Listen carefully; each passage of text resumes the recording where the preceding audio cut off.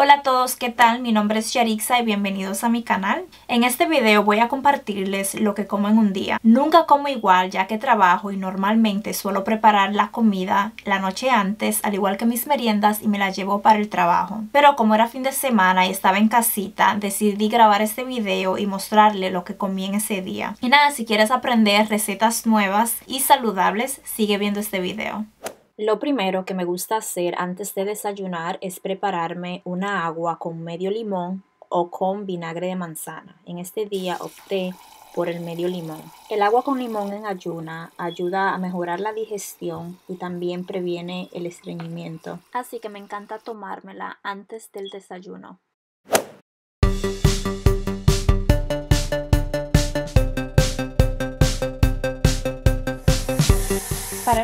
Voy a llenar una greca con agua, le agrego el café molido, al igual que un poco de canela para que le dé más gusto. Ahora para el desayuno, este delicioso desayuno, voy a comenzar cogiendo una rebanada de pan con pasas. Lo voy a tostar hasta que esté doradito.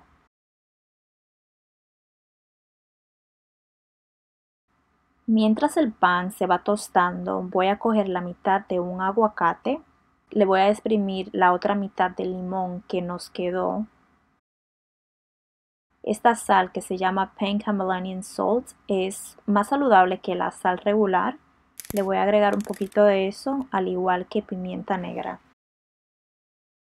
Y luego utilizando un tenedor lo voy a aplastar formando un puré. Este aguacate no estaba súper maduro, así que me costó un poquito. Bueno, ya el café está listo. Voy a utilizar este syrup, es el sabor hazelnut y no tiene azúcar, al igual que leche de almendra.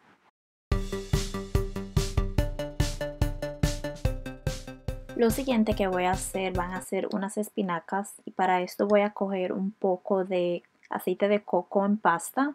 Voy a dejar que se derrita y luego le voy a agregar las espinacas. Voy a dejar que estas se cocinen por un par de minutos hasta que se ablanden lo suficiente y ya cuando estén casi listas le voy a agregar sal y pimienta. Y así quedan las espinacas, o sea, se vuelven casi nada. En el mismo sartén no voy a agregarle aceite ni nada, voy a freír cuatro claras de huevo que son aproximadamente media taza. A las claras le voy a agregar Nutritional Yeast, que es un sazonante con muchísimas vitaminas. Esos son los macros y ahí pueden ver todos los minerales que tiene. Y las voy a cocinar por un par de minutos hasta que esté doradita. Si es que a mí me gusta la clara del huevo que esté súper bien cocinada. Ahora para emplatar esta delicia voy a coger el aguacate y lo voy a poner encima del pan Encima del aguacate le voy a poner jamón de pavo, este es bajo en sal y luego le pongamos la clara del huevo. Para que esto quede más sabroso le voy a poner red chili flakes para darle un toque medio picante. Esto lo voy a acompañar de frutas como la naranja, la banana y un poquito de fresa. Miren qué delicia. Editando este video me está dando una hambre porque estaba delicioso.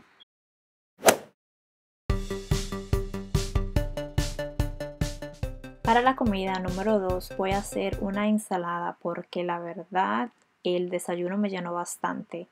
Aquí tengo lechuga ya lavada y cortada, ají rojo, pepino y tomates cherry. Este repollo morado y espinacas. Todo esto lo puse en un bol. Bueno, aquí tengo ya pollo, el cual yo lo sazoné la noche anterior y lo dejé en la nevera y lo voy a sofreír sin nada de aceite por aproximadamente 10 minutos de cada lado. Cuando ya se seque le voy a agregar un poquito de agua para que vuelva a humedecer y voy a hacer una porción extra, así lo guardo para la cena y no tengo que volver a cocinar. Y así quedó de delicioso. Para el dressing voy a coger un poco de mostaza, miel, la mitad de un limón, vinagre de manzana, y sal y pimienta. Y esto lo voy a mezclar bien, súper bien. Y se lo voy a agregar a mi ensalada. Y así quedó la ensalada. También le puse unos trocitos de aguacate que me habían sobrado.